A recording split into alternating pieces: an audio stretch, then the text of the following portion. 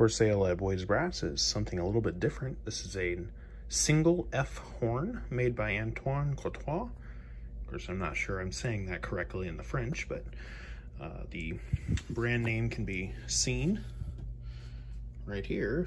I didn't say it correctly on the bill.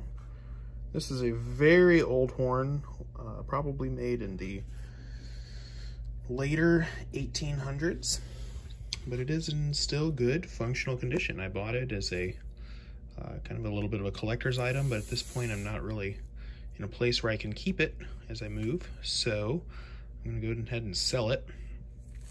It is a an F horn, single with piston valves, and as can be seen on the backside, it actually has a removable crook. Now this is the only crook that I have for this horn, and it does stand in concert F, so it'd be like a normal modern horn uh, in key.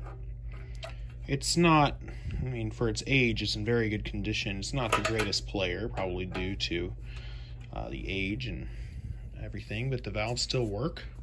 This can be seen here. They are left-hand, uh, make sure this crook is in there. They're left-hand valves. They, they work pretty well. It's a little bit awkward to hold with the crook blocking the way, but overall works well. It's a very, very small bore horn. It's got a lot of tarnish on it, a little bit of damage here. A few minor dents and dings, but I mean, considering the fact that it's well over 100 years old, very good condition. The mouthpiece does come out, it's not stuck.